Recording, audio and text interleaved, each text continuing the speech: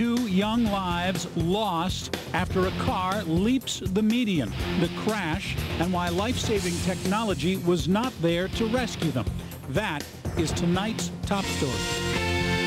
This is KARE 11 News at 5. Good evening and thank you for joining us. Mike has the night off. John Everson of Champlin was driving south on 252 with two passengers last night when a car going north crossed the highway and hit them head on. Everson and Julian Banks, both 27, were killed in the crash. It happened just before 10 last night where 252 intersects with 55th, 85th Street in Brooklyn Park. Now, the stretch of road is one that does not have the life-saving cable median barrier that is being installed in some of the Metro's busiest highways.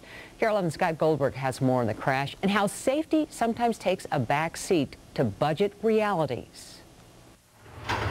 The driver of the Mercury Mystique was just 27 years old and, as his relatives described him, a big teddy bear. A good soul, and I'm sure that he's in a good place. They heard early this morning John Everson had been killed.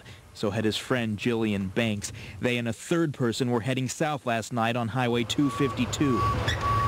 A Lincoln town car coming the other way crossed the median and hit them head on. I think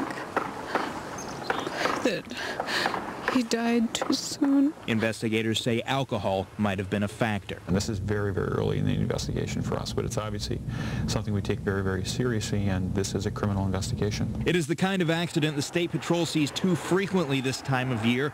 Also the kind of accident state-of-the-art cable barriers can help prevent. I can't say unequivocally it would have prevented it, but it certainly uh, stood a good chance of preventing it if there had been cable median barrier there. MnDOT has installed about 20 miles of that cable around the Twin cities. There was no barrier at Highway 252 and 85th Avenue. We look at areas where we've had a large number of cross-median crashes, either fatalities, injuries, and that's where we prioritize, where we're putting them. MnDOT spokesman Kent Barnard says the cables cost $1 million per mile, and it would be impossible to put them everywhere they'd be helpful.